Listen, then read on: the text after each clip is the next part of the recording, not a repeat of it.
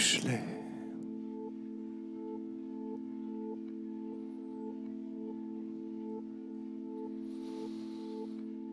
Dinle sesimi.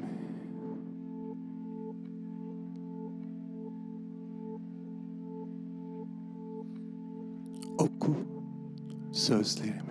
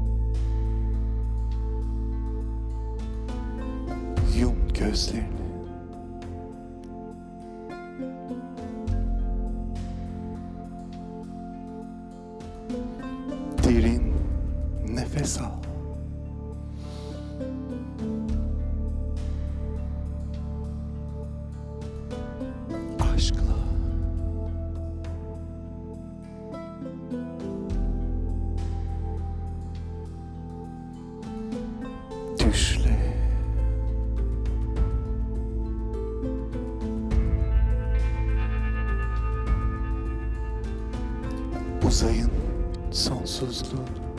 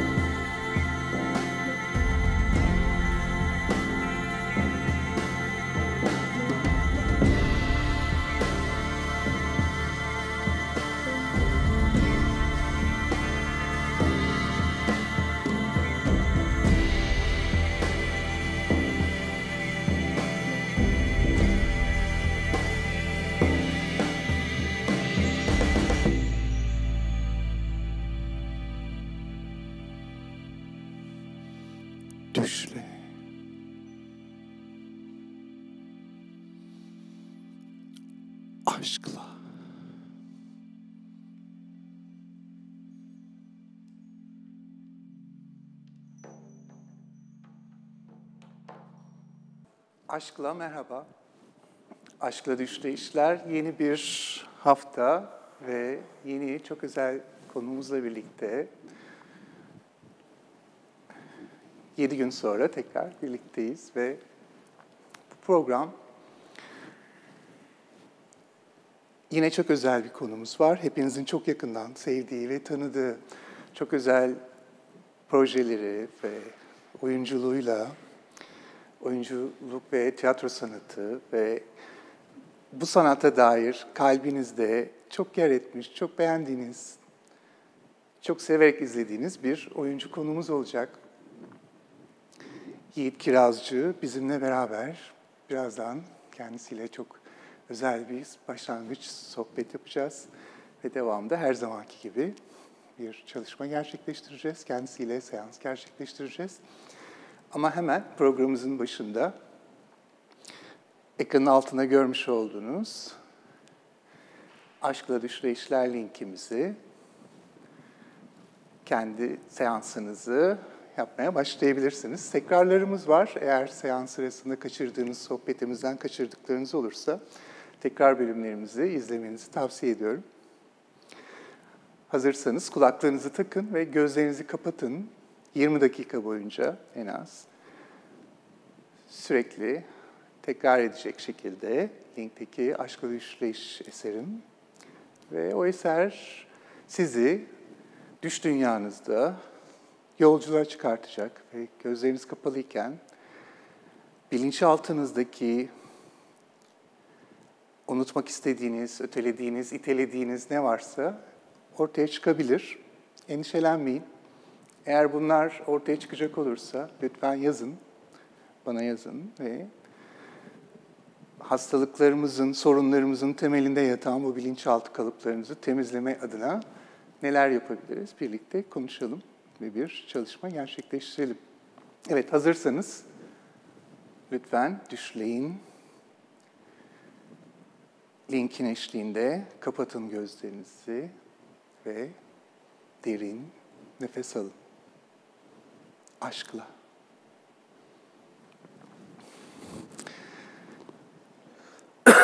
Hoş geldiniz. Hoş bulduk efendim. Çok mutlu olduk. Ben de öyle. Çok teşekkür Özellikle ederim. çok beğenerek takip ediyorum. Çok teşekkür ederim. Sağ olun. filmlerinizi. Ee, yeni yeni dönem için çok e, özel bir yerde durduğunuzu düşünüyorum. Oyunculuğunuzla e, ve kişiliğinizle de, sanatçı kişiliğinizle de çok özel bir noktada olduğunuzu düşünüyorum. Çok teşekkür ederim. Çok, Çok tebrik ediyorum. Bütün çalışmalarınızı, şimdiye kadar ki gerçekleştirdiğiniz bütün başarınızı tebrik ediyorum. Çok teşekkür ederim. Ee, bizim tabii ilk bölümü daha çok çocukluğunuzdan başlayıp bir biyografik yolculuk. Neler yaptınız? Çocukluğunuzda nasıl başladı? Sanat nasıl başladı hayatınız? Ve e, yapmış olduğunuz daha sonra eğer bir e, sanırım bir konservatuar çalışmanız yok. Özel bir Ama tiyatroda özel tiyatrolarda başladı. Hocanın asistanıydım. Ee, E, gerçekleştirmiş olduğunuz e, projeleri konuşalım. Tabii ki tabii ki.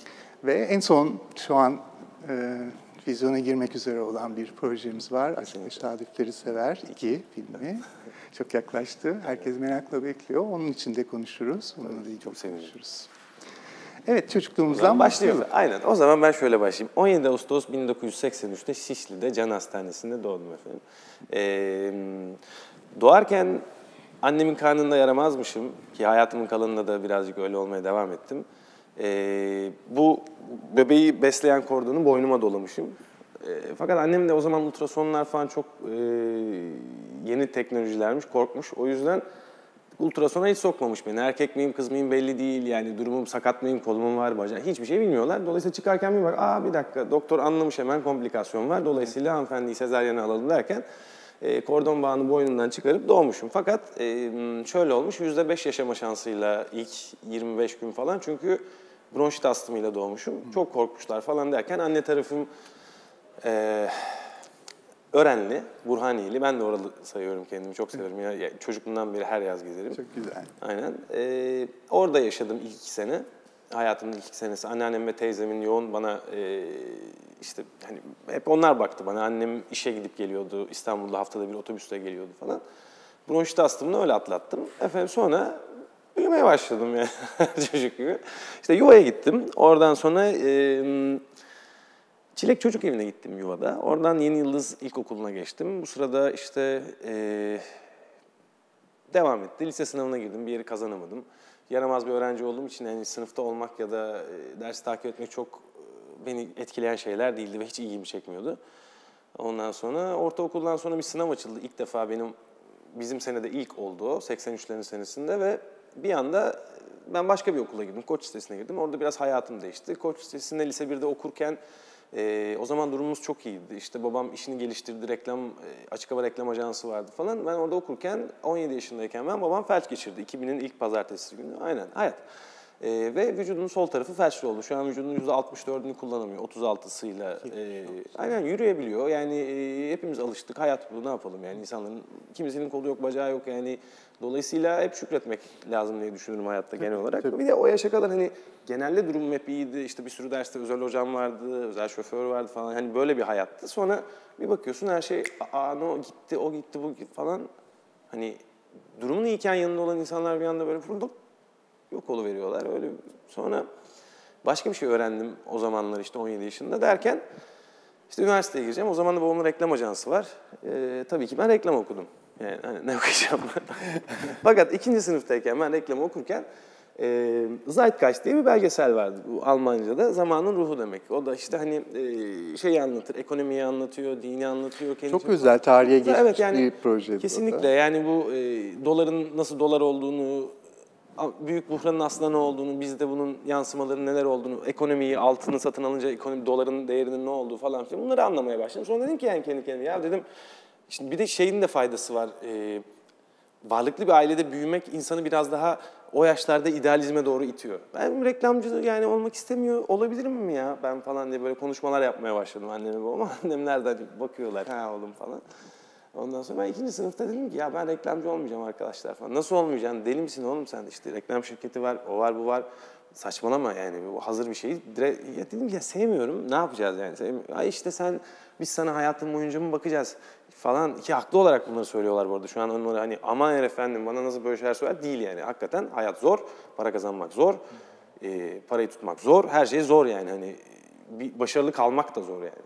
Dolayısıyla neyse işte ben e, ne yapacağımı bilmeden okula devam etmeye başladım. Okulda hani bitirmem gerektiğini düşündüm hep. Annem yüzünden. İlla bitireceksin. An- anneler. Anneme "Ya o o bileziğin duracak oğlum diyor. Evet. Neyse e, sonra ben işte üniversiteye giderken harçlığımı çıkarmak için bir yandan da e, Bilgi Üniversitesi'nde reklam okuyorum işte. Harçlığımı çıkarmak için bir yandan da modellik yapıyordum. Modellik yaparken de işte reklamdı falandı filandı. Reklamlara gitmeye başladım. Oluyor bir iki iş oldu. Reklam kasına gidiyorum fakat bir şey var. Şimdi normalde konuşurken sabaha kadar anlatırım ben.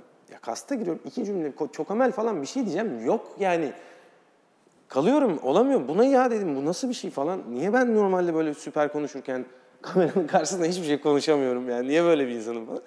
Sonra işte bir e, tiyatro oyunculuk okuluna başvurdum hemen okuldan çıktıktan sonra. O zaman şimdi çok severim. e, o zamanki menajerim Tuğba Taçan'dı. Dedim ki Tuğba'ya kulakları çınlasın selam olsun bundan da. Buradan, evet. Ya Tuğba dedim hani ben bu işi yapmak istiyorum fakat eğitimim yok. Vallahi istiyorum.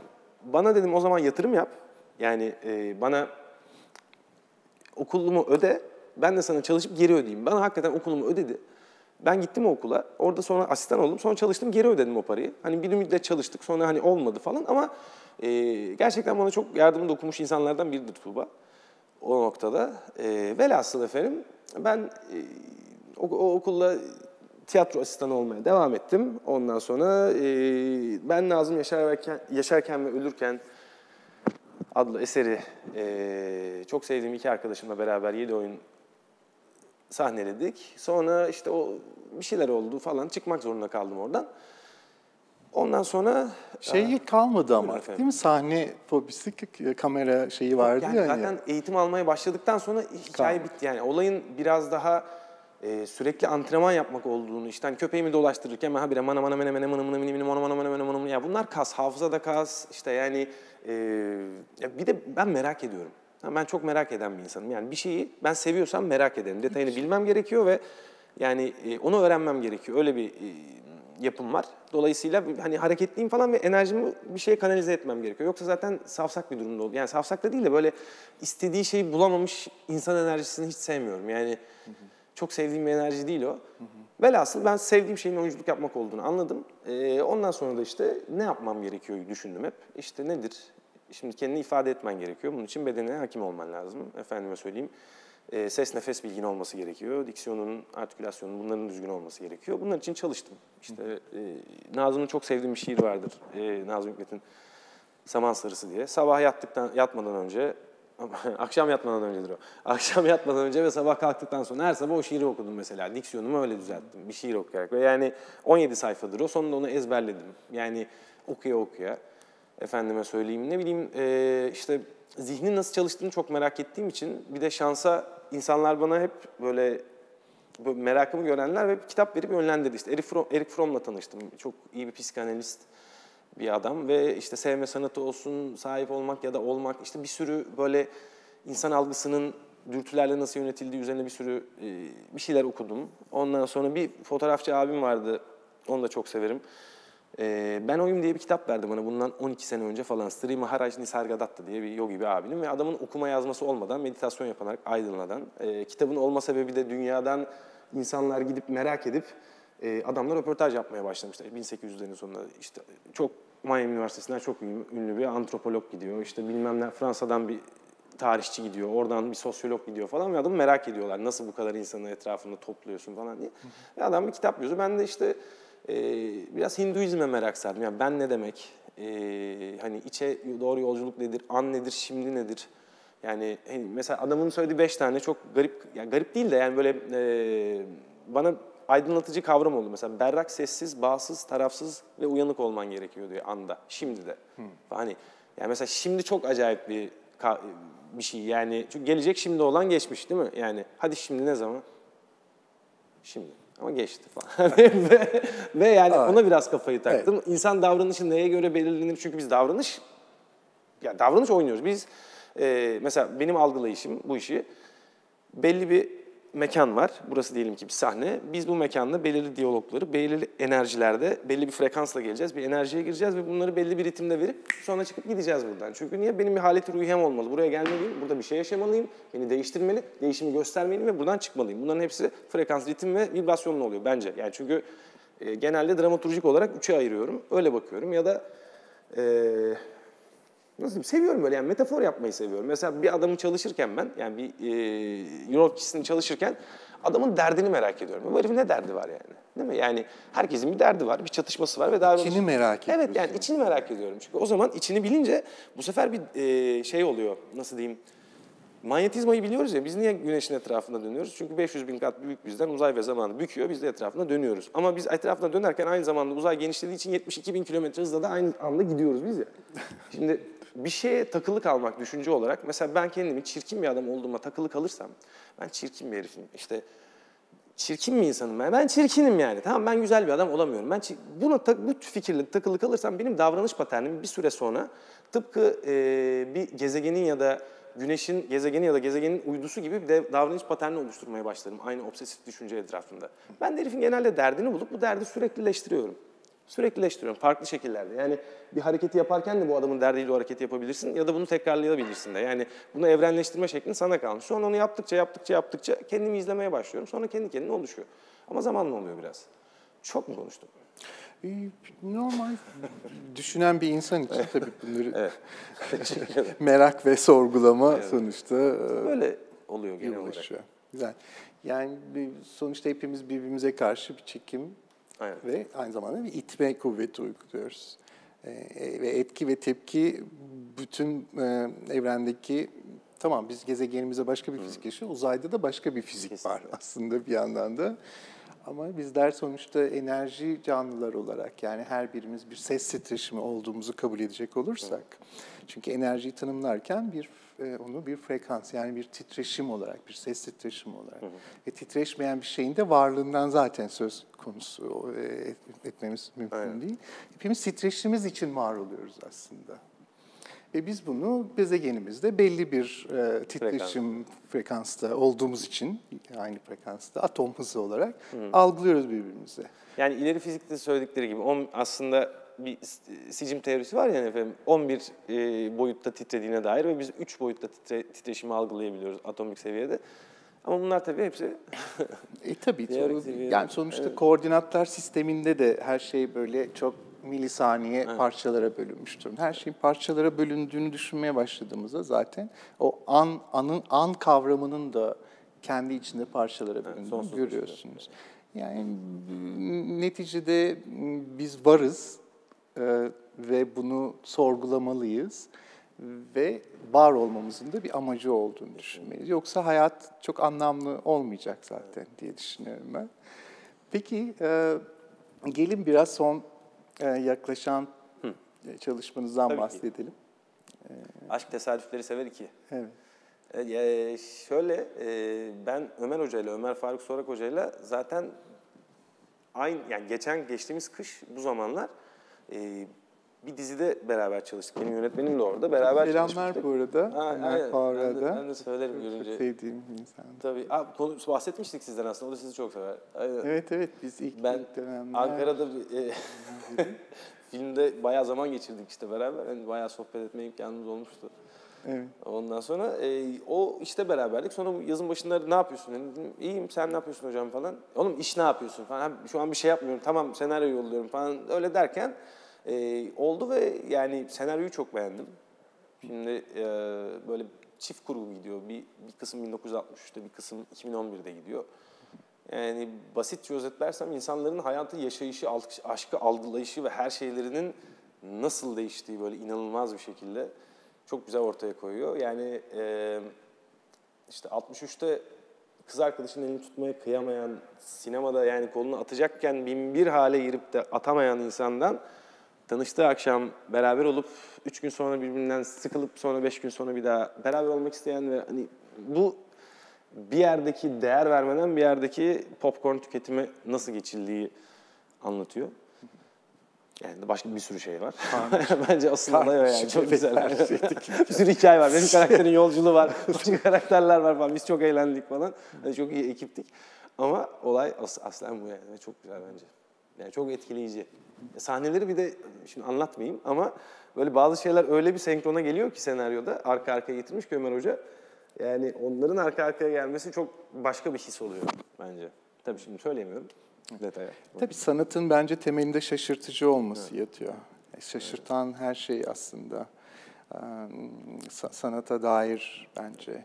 Şaşırtmayan sanat zaten popüler. Yani popüler kültüre dönüşüyor. Ama siz rutini değil de hep yeniyi ve şaşırtıcı atlamaları yaparsanız o zaman in- insan beyninde daha çekici hale geliyor. Yani bence oydu zaten hani baktığımda genel olarak bir, bir işe de yeni bir şeye de gelen bir şeye bakma işe yarayan yenilik ne var diye bakıyorum. Yani niye ki ben bunda olayım? Daha önce yapılanlardan farklı nesi var bunun? Evet. Ya da yaparken niteliğinde bana ne kadar daha özgür alan tanınır? Öyle İlk film de çok ses getirmişti. İkinci filmde Bakalım, dilerim inşallah getirir ya. çok Evet, özel beklenti var. Ben izlemedim filmi daha. Birkaç tane sahnemi izleyebildim sadece. o da yani sağ olsun. İzlemek yasak. Yasak. Müzisyenler ama izliyor. Yani sağ olsun partnerim Nesrin Cevatzade'ydi. O da çok tatlı bir insan. Onun baskılarıyla böyle Ömer Hoca'ya zorla işte birkaç sahne telefondan izleyebildik. Kurgudan gelen ham hallerini falan ama hani hiç bilmiyorum nasıl oldu. İzleyen herkes gelip tebrik ediyor beni Ömer Hoca'nın izlettiği. Ve e, tabii büyük bir stres ve efendim büyük bir e, tatlı heyecanla bağlı bir gerginlik söz konusu olmasına rağmen yani bekliyorum işte. Evet. Ocak Ocak 31. Ocak 31 tam e, güzel bir zamana denk geliyor hem de. Aa, peki çok tebrik ediyorum şimdiden. Teşekkür ederim. Mutlaka izleyecek. Bütün herkes hep birlikte izleyeceğiz ve oradaki performansınızı alkışlayacağız İnşallah efendim. birlikte. Şimdi kısa bir aramız olacak. Tabii ki. Aradan sonra tekrar birlikteyiz. Evet, birazdan görüşeceğiz. Görüşene kadar e, tekrar birlikteyiz bir süre sonra.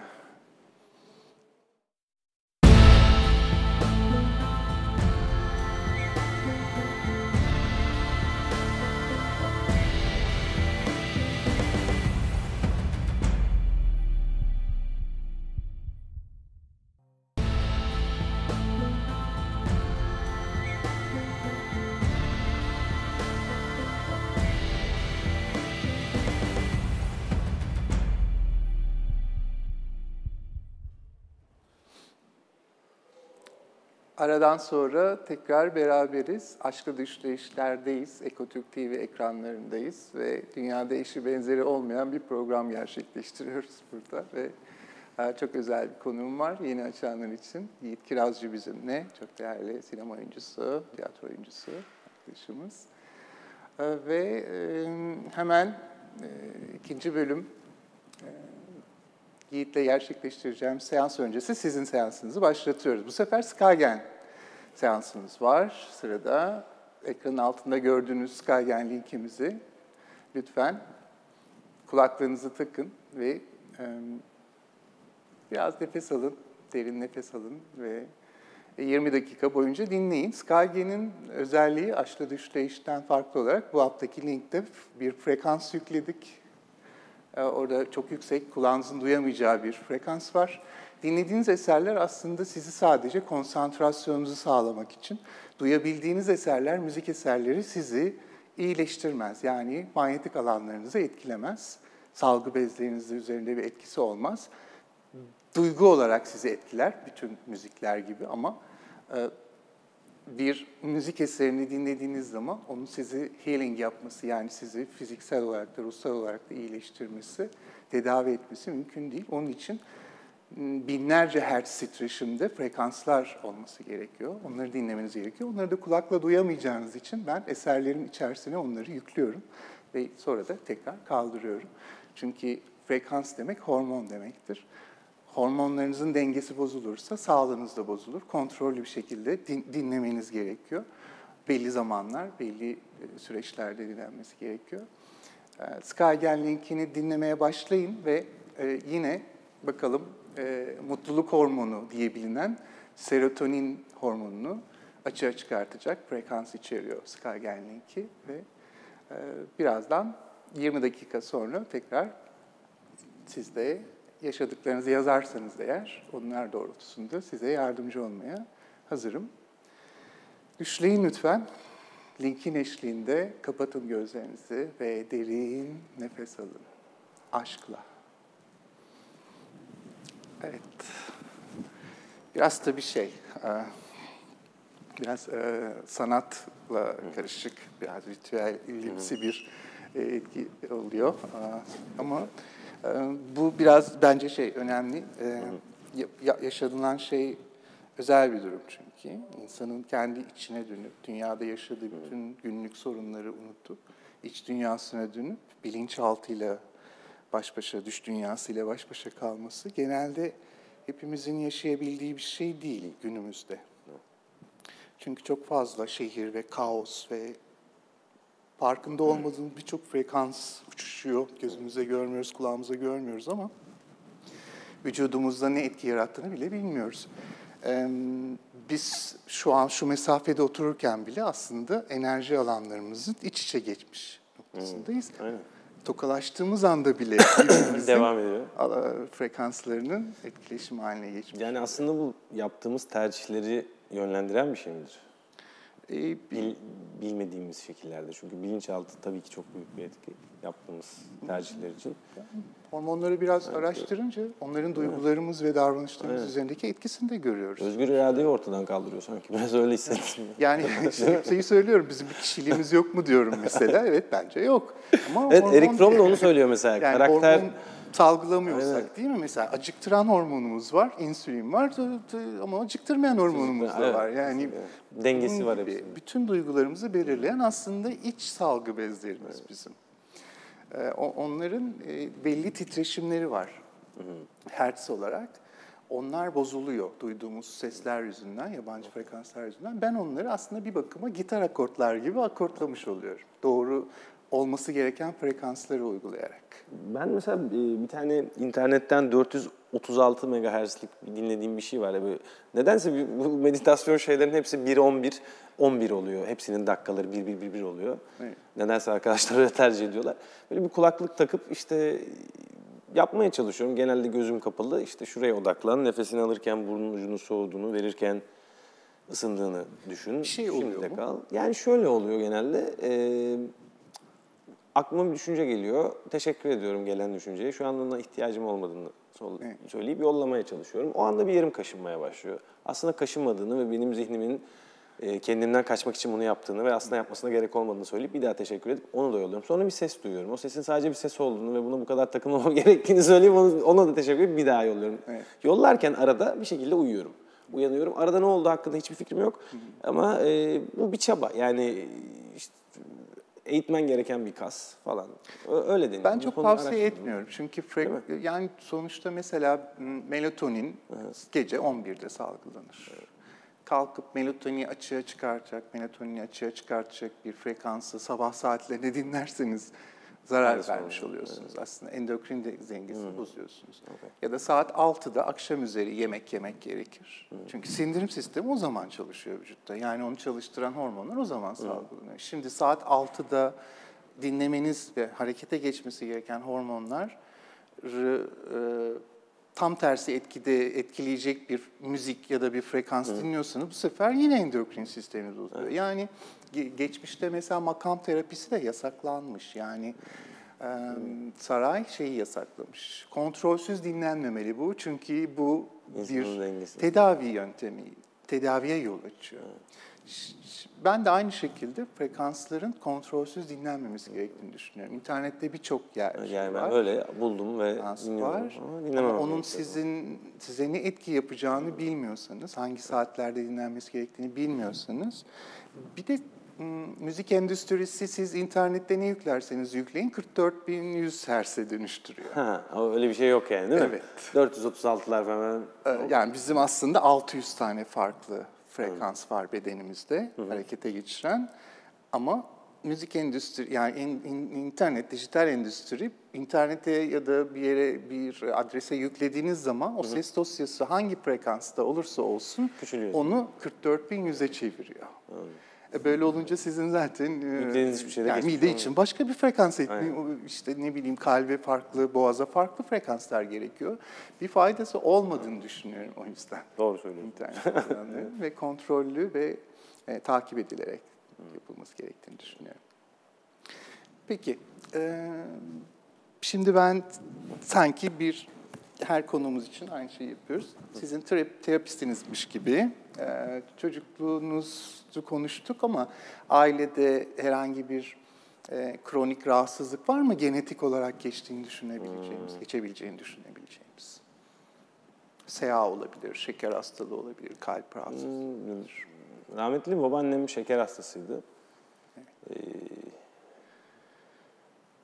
onun dışında işte dedemi hiç tanımadım. O da kalp kalp enfarktüsünden öldü dedem, babamın babası. Babam da aslında beyin enfarktüsü geçirip felç oldu. Yani sol beyin e, yok sağ beyincine pıhtı attığı için sol tarafı düştü. Ee, enfarktüs gibi bir durum var galiba genetik olarak. O da kan pıhtılaşması ama vücutta herhangi bir yere atabiliyor. Yani kan hastalığı gibi bir şey bu aslında. Ama tabii ki olacak diye de bir şey yok. Tabii. Ya da öyle bir risk olabilir belki. Am- Anladım. Yani daha çok kalp ve e, şeker hastalığı. Evet, o tarz. rastlandı. Peki. Kişisel olarak fiziksel olabilir ya da ruhsal olabilir. Herhangi bir sorun var mı sizin için? İşte elim kırık, elimde bir platin var şurada. Yani içinde yedi tane çivi var. Onun dışında e, ruhsal bir sorunum var, ruh hastası mıyım? Sanırım de- değildim. e, şeyleri gereğinden fazla düşünmek gibi bir durumum olabiliyor zaman zaman. Ama yani bu illa kişisel bir takıntı olmak zorunda değil. Yani herhangi bir takıntı olmak zorunda değil. Mesela demin demin demin e, arkadaşımız gelip çok kaşınıyorsun dedi ya hani konuşurken bir şey kaşınıyorsun kaşınırken o aklıma geldi mesela. en basit örneği ne yazık ki biraz inception ama Eee bu kadar onun dışında bir şeyim yok sanırım ya da benim bildiğim yok. Bilmiyorum siz de yeni gördünüz ama ne dersiniz? Uyku düzeni nasıl? Uyku düzenim iyi ya. Aslında en iyi şeylerimden biri o. Yani ben 9.30, 10, 11 o civarlarda aslında uyku saatimdeyim şu an. Yatıp 6.30-7 gibi kalkıyorum sabah. Yani sabah kalkar spora giderim, işte koşarım ederim, sonra kahvaltı ederim, sonra eve gelirim, birkaç bir şey okurum, sonra bir daha aynı şeyler falan. Çünkü çalıştığım zaman çok uzun saatler çalışıyorum, çalışmadığım zaman da hiç çalışmıyorum. Dolayısıyla çalıştığım zaman rahatlamayı bilmem lazım, çalışmadığım zaman da disipline olmayı. Şimdi öyle bir şey yapmaya çalışıyorum. Hani Ya, evet. Biz tabii uyku saatlerinize göre mm, en azından melatoninin salgılandığı saatlerin sağlıklı olduğunu söyleyebiliriz. Evet, kesinlikle. Vücutta salgılandığı zamanlar o. Uyku hormonu çünkü melatonin. 11 ile 4 arası. 11 ile 4 arası. Saat 2'de, gece 2'de maksimum düzeye yükseliyor, ulaşıyor. Görünüşe göre o, o Evet, alan zaten doğru frekansta ve epifiz sağlıklı, Sağlıklı. hormon salgılıyor. O açıdan e, öyle bir saptama yapmış olduk. Peki şimdi o zaman biz şöyle bir şey yapalım bence. Belki bu bileğinizdeki noktaya bakmak ister misiniz? Görmek Olur. ister misiniz? Niye olmasın? Durumu nasıl acaba? Kırık. Görmek ister misiniz? Görelim efendim. Peki. Tabii ki. Şimdi bir m, sizden öncelikle bir nefes tekniği öğreteceğim. Çok basit zaten. Burada amaç burundan oksijeni tam alıp vücutta tam yayıldığından emin olup ağızdan karbondioksiti tam boşaldığından da emin olacak bir çalışma yapmak. Biz normalde çok kısa alışveriş yapıyoruz nefesimizi ve hayatımızı kısaltıyoruz aslında.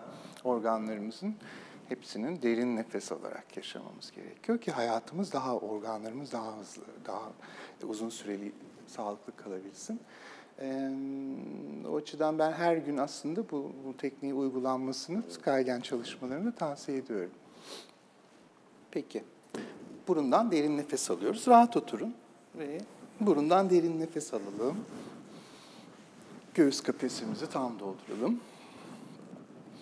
Tutalım basınç oluşana kadar. Ve basınç oluşunca ağızdan bu sefer tam boşaltıyoruz. Her şey çıktı. Karbondioksit ve basınç oluşunca tekrar burundan akciğerde tutuyoruz. Basınç oluşunca.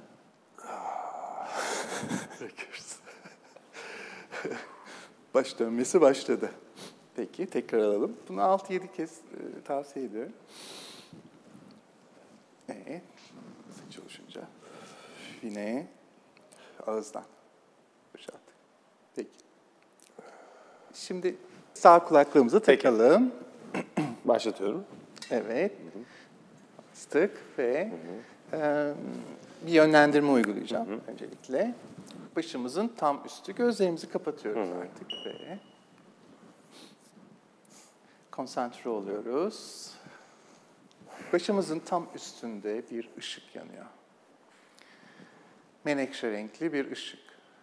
Ve o ışık tam beyin loblarınızı kaplamaya başlıyor. Görüyorsunuz. Menekşe renkli ışık büyüdü, yayıldı ve tam bütün beyin loblarınızın etrafını kapladı. Gördünüz. Şimdi iki kaşınızın ortası. Orada bir ışık yandı. Mor renkte. Ve o mor ışık giderek genişlemeye başladı ve alın bölgenizi kapladı. Mor rengi görüyorsunuz. Şimdi boğazınıza iniyoruz. Boğazdayız. Bir ışık yandı, turkuaz renkte. Ve turkuaz renk genişlemeye başladı ve tüm boğazınızı kapladı. Şimdi kalbinize doğru iniyoruz. İki göğsünüzün birleştiği noktadayız. Bir ışık yandı ve yemyeşil, parlak renkte. Ve o yeşil ışık tüm akciğer ve kalp bölgenizi kapladı. Gördünüz ve şimdi kalbinizi görün. İçinize gir, iç organlarınıza girdiniz, vücudunuzun içindesiniz ve kalbinizi görüyorsunuz. Kalbinizi görüyor musunuz şu an? Ve kalbinizin içine girin. Atışını izleyin. Dakikada ortalama 70 kez atacak şekilde imgeleyin, imajine edin ve ekinleyin. Atar damarınızı görün şimdi. Atar damarınızdan yayılan kanın vücudunuza pompalanışını izleyin. Ve kalbinizin sağlıklı atışını ve ritmini imgeleyin. Gördünüz.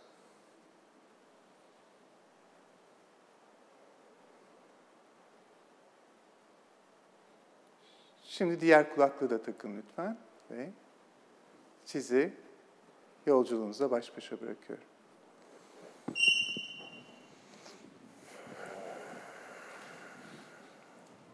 Evet, Yiğit'le başlangıcımızı yaptık. En yüksek titreşimli manyetik alanları aktive ettik ve kalbi, kalbiyle ilgili bir imajinasyon çalışması yapabilmek için kalp bölgesine kadar gelip oradaki doğru frekansa zihinde doğru frekansa ulaştığını doğru renk görerek algılıyoruz. Yani zihnimiz yüksek titreşimli frekansları algılayamadığı için kulak organımızın yetersizliği nedeniyle ama zihnimizde gözlerimiz kapalı olduğu zaman doğru frekanslar gökkuşağının renklerinde oluşurlar. Biz de o renklerin oluşumuyla zihinde doğru frekansa ulaştığımızı anlarız. Eğer kahverengi, gri gibi renkler görüyorsanız ve vücudunuzdaki salgı bezlerinizin olduğu bölgelerde gökkuşağının renklerinden farklı renkler görüyorsanız bu sizin rahatsızlığınız olduğunu anlamına gelir o bölgeler için. Ve tabii gökkuşağı yani ışık kırılınca yedi ana renge bölünür, parçalanır. Bunlar kırmızı, turuncu, sarı, yeşil, turkuaz, mor ve menekşe renklidir. Eğer bu renklerden hiçbirini görmüyorsanız bütün manyetik alanlarınızdaki titreşimler yanlış ya da hiç titreşmiyor anlamına gelir. Bu da bulundukları bölgedeki alanlarda salgı bezlerinizde ve organlarda sorunlara sorunlar olduğunu veya farkında olmadığınız rahatsızlıklara gebe olduğunu anlamına gelir. Gördüğünüz renkler varsa o renklerde o renklerin bulunduğu, ait oldukları bölgelerin sağlıklı olduğu anlamına geliyor. Sağlıklı titreşimde ve frekansta oldukları anlamına geliyor. Eğer size program boyunca sunmuş olduğum linkleri dinlerken gördüğünüz renkleri bana yazarsanız hangi alanlarınızın sağlıklı olmadığını, hangi alanlarınızın sağlıklı olduğunu size söyleyerek devamında onları nasıl aktive edebileceğimizi ve doğru frekanslara ulaştırabileceğimizi size açıklayabilirim. Devamında da yardımcı olabilirim. Tabii ki program boyunca vermiş olduğum linkler sadece program sırasınca aktifler ve onları dinlerken bir takım vizyonlar düş dünyanızda sanki film izler gibi bir takım görüntüler oluşmaya başlayabilir. Bunlar beynimizin aslında düş yani rüya gördüğümüz sırada oluşturduğu imajlar gibi düşünün. Çünkü rüya dediğimiz şey, rüyada gördüklerimiz bilinçaltımızın ortaya çıkmasıdır. Rüya bilimcilerin de kabul ettikleri şekilde ama biz burada daha uykuya geçmeden, uyanıkken uygulamış olduğum yöntemlerle sizi transa geçirerek bu trans sırasında hatırlayabileceğiniz şekilde, uyanık bir şekilde beyninizin, zihninizdeki, düş dünyanızdaki ve bilinçaltınızdaki konuların ortaya çıkmasını sağlamış oluyoruz. Bilinçaltınızda eğer sizi rahatsız eden, tekrar eden, görmeye devam ettiğiniz bir takım imajlar, olaylar, döngüler varsa bunlar sizde hastalık olarak ortaya çıkacaktır. Bu nedenle bunları da temizlemek anlamında unutmak istediğiniz kalp kırıklıkları olabilir geçmiş hayatınızda yaşadığınız. Yaşadığınız üzüntüler ve başkalarının size yaşatmış olduğu şeyler olabilir. Bunlar bilinçaltınızda yer ettiyse onları temizlememiz gerekir. Çünkü devam ettikçe hastalıkların oluşmasına temel sorun olarak bakmak lazım ve temel teşkil ettiklerini düşünmemiz gerekebilir. Bu nedenle biz Skygen çalışmalarına hepinizi bekliyorum. Skygen kapalı devre çünkü az önce de konuştuğumuz gibi onu bir albüm gibi, bir müzik albüm gibi düşünmemelisiniz. Skygen Frekans albümü. Her birinize ait, adınıza ait bir link sunuyoruz ve o linkler üzerinden bana yazmış olduğunuz, dinlediğiniz zamanki etkileşimler doğrultusunda ben her gün o linkin içerisine size ait olan, sadece size ait olan ve başkalarına dinletmemeniz gerekiyor. Çünkü sizin denge ve sizin ihtiyaçlarınız ve sizin endokrin sisteminizin ihtiyacı olan frekansları içerdiği için başkalarına dinletmeniz sağlıksız durumlar oluşturacaktır. Adınıza özel linkinizi, Skygen linkinizi aldıktan sonra günlerce dinliyorsunuz ve onlarla ilgili etkileşimleri periyodik olarak bana yazdığınızda ben her gün güncelleme yapıyorum o linkleri. Dediğim gibi linklerde çalan eserlerin bir anlamı yok. Kulağımızda duyduğumuz eserler bizi iyileştiremezler. Yüksek titreşimli frekanslar bizi iyileştirirler. Eserler sadece konsantrasyon yaşamanız için ve adaptasyon ve trans e, açısından daha kolaylıkla çalışmayı gerçekleştirebilmeniz için bir anlamda bir bireysel seans gerçekleştiriyorsunuz. Ama eserlerin içerisine ben sizinle olan etkileşimle bana vermiş olduğunuz bilgiler doğrultusunda da ihtiyacınız olan doğru frekansları her gün güncelleyecek şekilde içerisine yüklüyorum. Ama siz onları duyamıyorsunuz. Skygen frekans albümünü bana ulaşarak edinebilirsiniz. Bekliyoruz. Skygen'e gelin, siz de Skygen olun. Skygen gibi yaşayın. Ee, Skygen o anlamda sizin bireysel ihtiyaçlarınızı ve hayata karşı hayat kalitenizi yükselten e, ve e, doğru frekanslarla kendinize ait bir link üzerinden başkalarının değil, sadece sizin ihtiyacınız olan frekansları dinleyebileceğiniz bir link çalışması olarak özel bir proje ve kapalı devre proje olarak Skygen Frekans albümü için bize ulaşın lütfen. Evet, e, süremizin 7 dakikanın sonuna geldik ve birazdan Yiğit gözlerini açacak ve seansını tamamlamış olacak. Evet. Hoş geldin tekrar. Merhaba.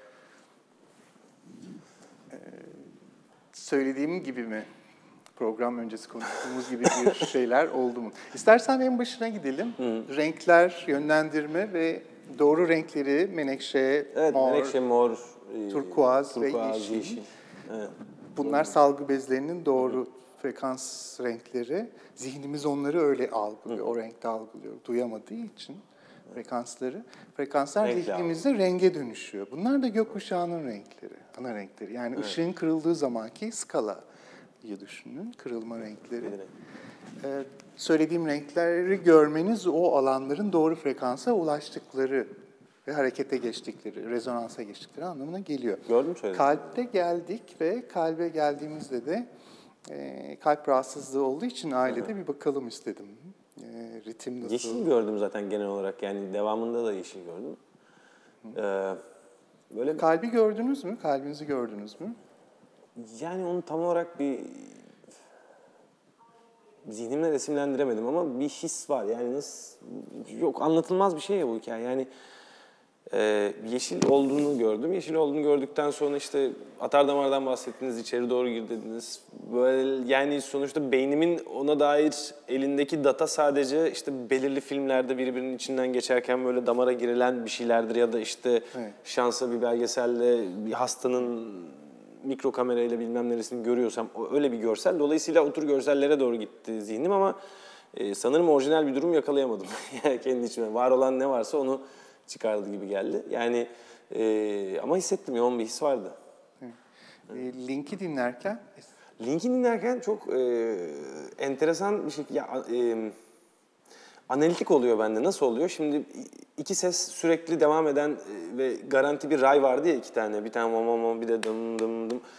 Rüzgar ve e, suyun sesi kaotik gelse de onların da başka bir loopları vardı aslında. Aslında iki tane döngü, iki tane de karmaşıklık gidiyor gibi ama aslında karmaşıklık da döngü gibi geldi. Şimdi duyunca böyle oluyorum işte. Hani şimdi bunları düşünmeye, şimdi düşünce oluyor bu.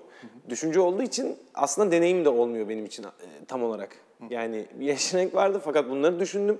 Sonra kendi kendime düşündüğümü düşündüm. Mesela bunları düşünmemem gerekiyor dedim şu anda. Çünkü bunu dinleme sebebim benim sesleri tek tek ayırt edip aslında hangisinin yani ne olacağı değildi yani.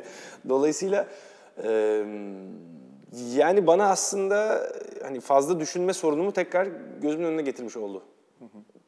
Yani bence gayet yerinde yani şey olarak. Hmm. Amacında yani. Öyle geldi bana. Anlıyorum. Bir e, vücutta bir etkileşim oldu ve e, duyduğunuz sesler ama e, bir takım imajlar da oluştu. Yani işte yeşil renk oldu. İşte eee, şimdi rüzgar sesinden bir tane kahverengi paltolu bir adamın yürüdüğünü gördüm. Karda yürüdüğünü gördüm çünkü su sesi de vardı bir yanında. Hani böyle bir bir belli imajlar vardı ama bu kesin ve devamlı bir şey olmadığı için tam olarak da böyle şu vardı bu vardı diye diyemiyorum. Hani bir anda o ama işte geçen Köylü Ekrem diye bir adamın eee, şeyini izledim. YouTube'da bir şeyini izledim ve eee, kendi kendini okuyarak öğrenmiş bir adam. Uzakta bir yerde bir köyde yaşıyor ve adam şeyden bahsediyor. Sanatın estetikten başka hiçbir sınırda şey olamadığından ve hani o adamın bir heykeli geldi gözümün önüne mesela o rüzgar Anladım. sesinde. Çünkü adam rüzgarda balerinin hareketlerinin rüzgarda bıraktığı izin heykelini yapmış mesela. Anladım.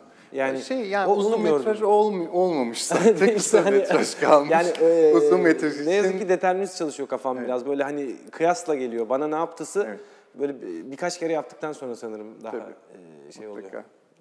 Ama e, ben istediğim sonuçları aldım. İmajlar, karda yürüyen adamlar bunların hepsi bir etkileşim olduğunu gösteriyor. Evet, kesinlikle. Başka yaptığınız çalışmalarda bu sonuçları a, almadığınızı Yok, düşünecek hayır. olursak.